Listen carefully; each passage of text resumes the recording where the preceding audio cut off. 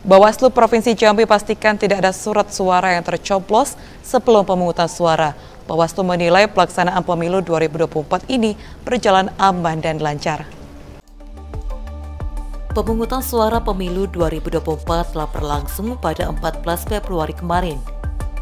Badan Pengawas Pemilu atau Bawaslu Provinsi Jambi memastikan tidak ada surat suara yang tercoblos sebelum pemilihan.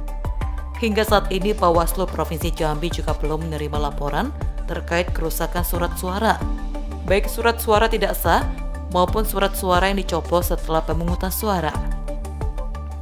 Ketua Bawaslu Provinsi Jambi, Wayne Arifin mengatakan, pihaknya akan meninjau langsung rekapitulasi hasil pemungutan suara secara langsung.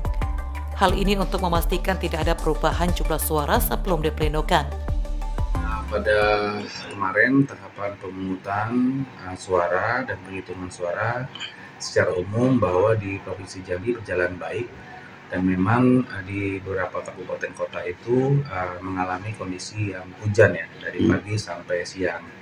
Tentunya hal ini ada kendala-kendala uh, teknis terkait dengan uh, pemungutan suara.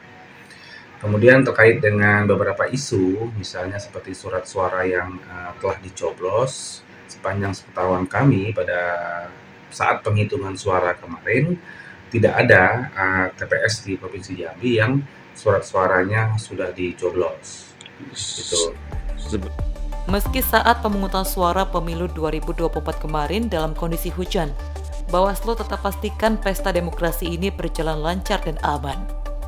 Rian Chen Chen, Jack TV, melaporkan.